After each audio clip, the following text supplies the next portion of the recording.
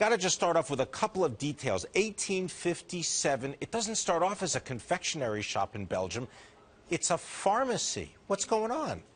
It was a pharmacist, Mr. Jean Neuhaus, and in those days, uh, medicine was, had a very, very bad taste. So one day he got the idea of enrobing the uh, bad tasting medicine with chocolate. So at least you had something that sweetened the pill. And then one day he said, instead of taking something that has a bad taste, let me make a cream that tastes well and then enrobe it with something else, chocolate that tastes well. And that is the origin of the praline. So Mr. Jean Neuhaus actually invented the, uh, the praline. The praline. All right, so the praline is something that is distinctive to Neuhaus. Obviously, it is more popular all over the world as well. Where is the biggest market now for uh, luxury chocolate? Amazingly enough, for us, it still remains Belgium, despite the fact that Neuhaus is now available in more than 50 countries. Uh, but Belgium still can't get enough of it either. Uh. And where is the biggest expansion happening? Biggest expansion between Germany, between the United States, of course, and uh, also Japan and China. The different tastes, do you have different types of combinations of taste for different markets? Some markets have preferences, but on purpose in the luxury atmosphere, we do not adapt the recipes to countries. We want to have the genuine product distributed all over the world.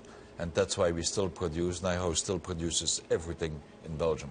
What characterizes luxury chocolate as opposed to, let's say, ordinary, everyday chocolate?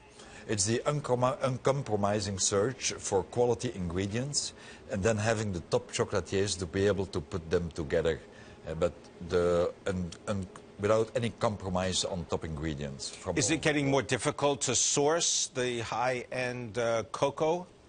It is sometimes difficult. Uh, sometimes there are scarcities and sometimes uh, there is speculation, uh, but we never give in on that one.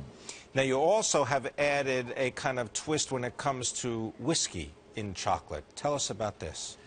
Well, chocolate is a highly gastronomical product in its top quality.